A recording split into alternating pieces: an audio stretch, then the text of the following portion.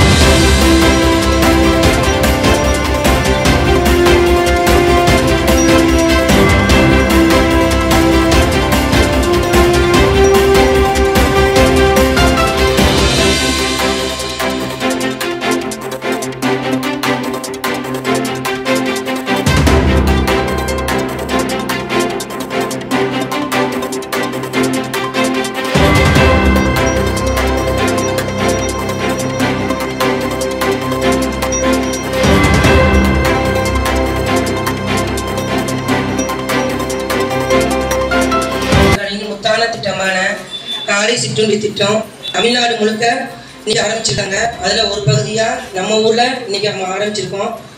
Chairman vice chairman நகரமன்ற உறுப்பினர்கள் அனைவரும் சேர்ந்து ஆரம்பிச்சிருக்கோம். நம்ம ஊரை பொறுத்த வரைக்கும் ரெண்டு ஸ்கூலு. முத்துச்சாமிபுரம் ஒன்று மரவர்தர் ஸ்கூலு. மொத்தம் அறுபத்தாறு பிள்ளைகள் இருக்கிறாங்க. இந்த அறுபத்தி ஆறு பிள்ளைகளும் இதன் மூலம் பயன்பெறத்துக்கு பயன்பெற போகிறாங்க இந்த திட்டம் வந்து பதினஞ்சு ஒம்பது ரெண்டாயிரத்தி இருபத்தி ரெண்டு அன்று நம்ம மாண்புமிகு முதலமைச்சர் கையாக ஆரம்பிக்கப்பட்டது.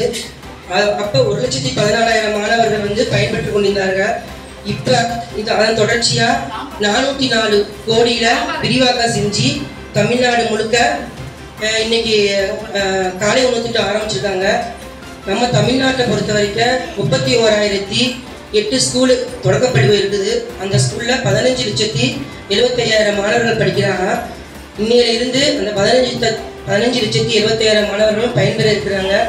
இந்த முத்தான திட்டத்தை கொண்டு வந்த நம்ம முதலமைச்சர் அவர்களுக்கு இது வந்து ஒரு பெரிய சகாப்தம் இந்த திட்டத்துக்கு ஒரு பெரிய சகாப்தம் ஒரு பெரிய வெற்றின்னே சொல்லலாம். இந்த மயில்கல்ல எட்டி பிடிச்ச எட்டி பிடிச்சு செயல்படுத்தி அமல்படுத்தி காட்டிய நம்முடைய மாண்புமிகு முதலமைச்சர் அவர்களுக்கு என்னுடைய சார்பாகவும் நம்முடைய நகர்மன்ற உறுப்பு கீழக்கரை நகராட்சி பணியாளர் சார்பாகவும் இந்த ரெண்டு ஸ்கூல் சார்பாகவும் பாராட்டுகளையும் மனமார்ந்த நன்றிகளையும்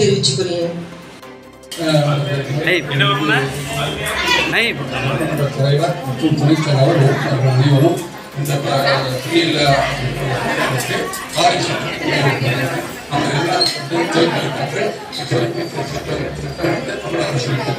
நம்ம பயணம் வேண்டும் என்ற